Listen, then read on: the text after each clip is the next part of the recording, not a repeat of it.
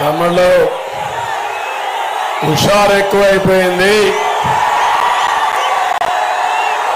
ఇంకా సమయం ఉంది. గౌరవనీయులు రాజంపేట బీజేపీ అభ్యర్థి మిత్రపక్షాలు బలపరుస్తున్న అభ్యర్థి మాజీ ముఖ్యమంత్రి నల్లారి కిరణ్ కుమార్ రెడ్డి గారు. ఇంకో పక్క ఈరోజు తెలుగుదేశం పార్టీ అభ్యర్థి శాసనసభ అభ్యర్థి మిత్రపక్షాలు బలపరుస్తున్న అభ్యర్థి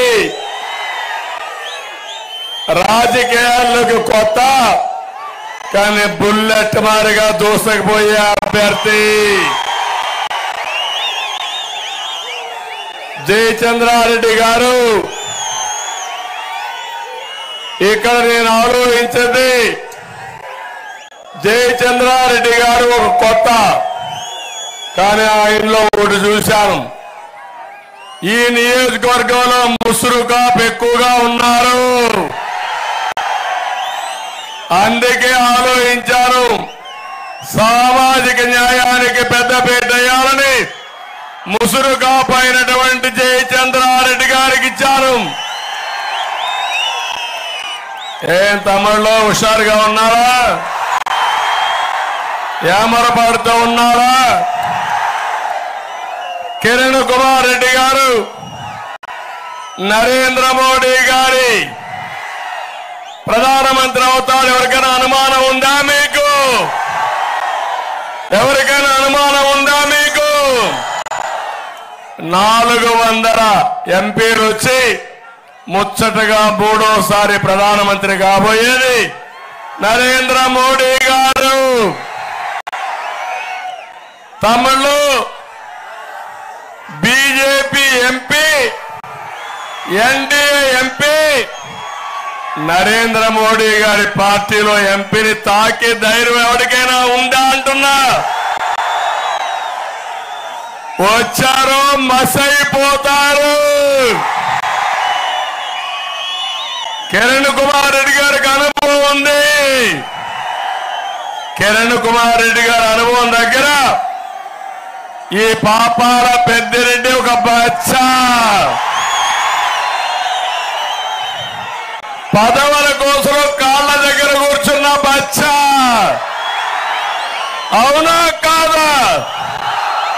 నడమంత్రపు సిరి వచ్చింది. కొవ్వెక్కింది.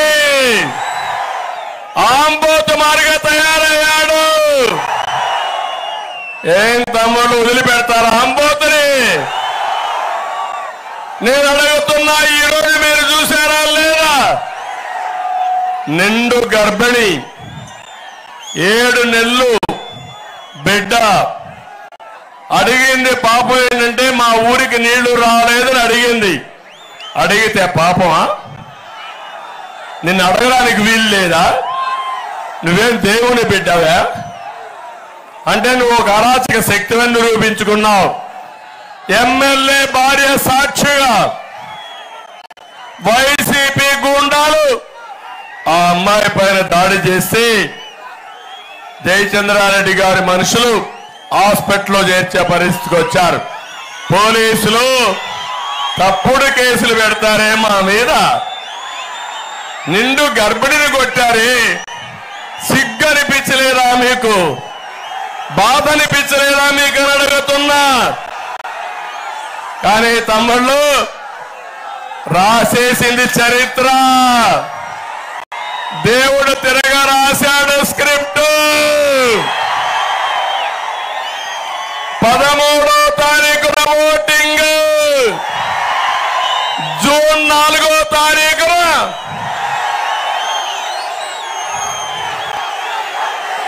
కౌంటింగ్.